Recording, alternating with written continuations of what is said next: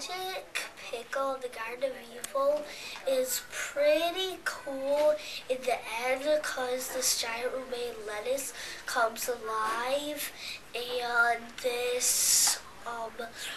romaine gladiator has this um, lightning fork that can strike people down and kill them and it's just really cool. And in